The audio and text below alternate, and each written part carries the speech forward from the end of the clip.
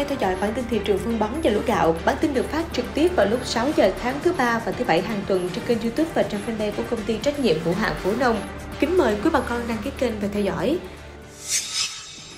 Thưa bà con, dù bài toán nguồn cung đang được tháo gỡ, nhưng hiện giá phân bán lẻ tại khu vực đồng bằng sông Cửu Long vẫn ở mức cao. Đáng chú ý, nguồn nhập khẩu DAP về Việt Nam vẫn trong tình trạng là hạn chế, nên giá bán lẻ bất ngờ tăng thêm 10.000 đồng trên một bao. Giá lúa gạo hôm nay ngày 6 tháng 9 tại các tỉnh đồng bằng sông Cửu Long duy trì ở mức ổn định.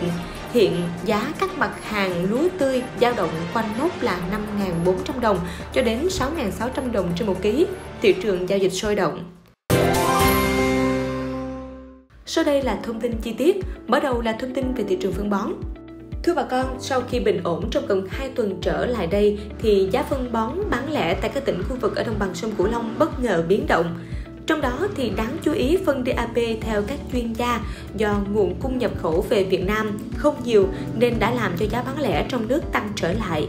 Cập nhật ngày hôm nay ngày 6 tháng 9, giá bán đã tăng thêm 10.000 đồng trên một bao, chi tiết cập nhật tại thị trường An Giang và Long An.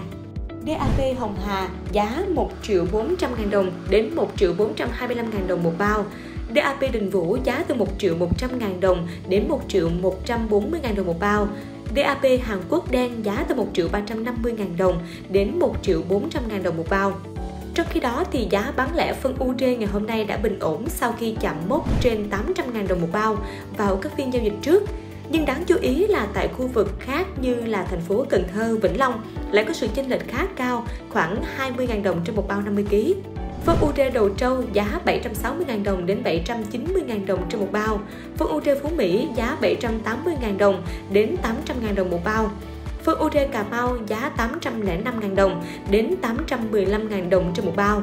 Phân UD Ninh Bình giá từ 780.000 đồng đến 800.000 đồng một bao duy nhất ngày hôm nay giá kali và phân lân là được duy trì ở mức ổn định. Giá bán lẻ tại các tỉnh trong khu vực không có nhiều biến động, nhưng dự báo có thể tăng vào các phiên giao dịch tới do nhu cầu sử dụng tăng.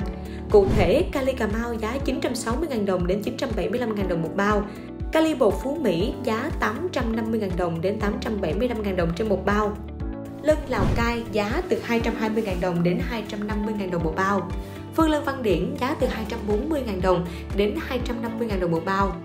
Phân lân Lâm Thao giá 250.000 đồng đến 260.000 đồng một bao.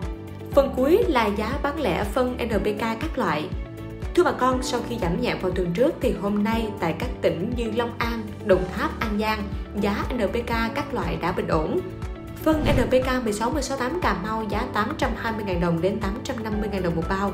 Phân NPK 16 168 Phú Mỹ giá từ 830.000 đồng đến 850.000 đồng một bao. Phân NPK 16 168 Việt Nhật giá từ 820.000 đồng đến 840.000 đồng trên một bao. Phân NPK 20 20 15 bao con cò giá từ 1 triệu 180 ngàn đồng đến 1 triệu 210 ngàn đồng một bao.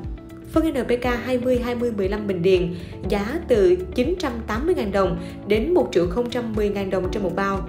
Phân NPK 20 20 15 đầu trâu, giá từ 1 triệu 020.000 đồng đến 1 triệu 040.000 đồng trên một bao.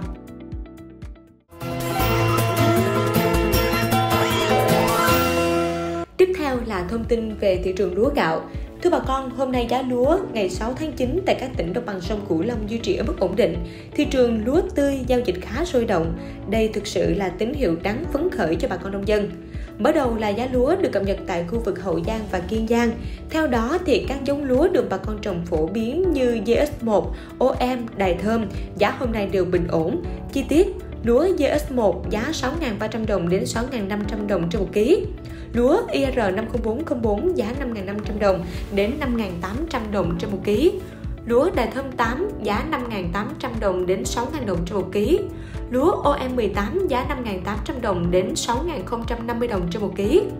Trong khi đó thì tại khu vực An Giang và Đồng Tháp, giá lúa tươi được điều chỉnh đi ngang. Cụ thể, lúa Jasmine giá 5.600 đồng đến 5.700 đồng trên một ký. Lúa OM 5451 giá 5.500 đồng đến 5.700 đồng trên 1 kg Lúa OM 6976 giá 5.500 đồng đến 5.700 đồng trên 1 kg. Cuối cùng là giá lúa tươi tại khu vực Sóc Trăng Bạc Liêu, giá lúa bình ổn nhưng thị trường giao dịch khá sôi động. Một số trà lúa sắp được thu hoạch đã được cò lúa xem và đặt cọc. Lúa ST24 giá 6.800 đồng đến 7.000 đồng một ký. Lúa nặng hoa chính giá 5.600 đồng đến 5.800 đồng trên một ký. Nếp Long An giá 7.650 đồng trên một ký. Đối với lúa khô ngày hôm nay bất ngờ giảm nhẹ từ 100 tới 200 đồng trên một ký. Cụ thể, lúa khô 50404 giá từ 6.000 tới 6.200 đồng trên một ký.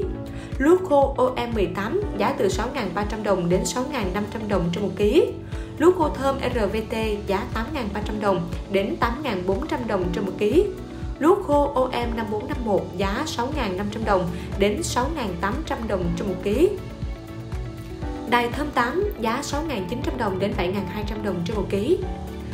Với mặt hàng gạo, giá gạo nguyên liệu thành phẩm duy trì ở mức ổn định. Cụ thể, gạo nguyên liệu IR 50404 đang ở mức 8.000 đồng trên 1 kg, Gạo thành phẩm IR 50404 ở mức 8.550 đồng đến 8.600 đồng trên 1 kg. Theo dự kiến, xuất khẩu gạo của Việt Nam năm 2022 sẽ đạt ở mức từ 6,3 cho tới 6,5 triệu tấn. Các doanh nghiệp dự đoán từ đây cho đến cuối năm, xuất khẩu gạo của Việt Nam vẫn đạt ở mức tăng trưởng ổn định. Thị trường lúa gạo sẽ tăng trưởng do nhu cầu tăng lên. Thưa bà con, thông tin thị trường lúa gạo được phân bón cho công ty trách nhiệm hữu hạn Phú Đông cập nhật. Thông tin được cập nhật từ nguồn trang điện tử báo công thương và thị trường phân bón.com. Mến chào và hẹn gặp lại bà con trong bản tin tiếp theo. Phú Nông mang đến sự khác biệt.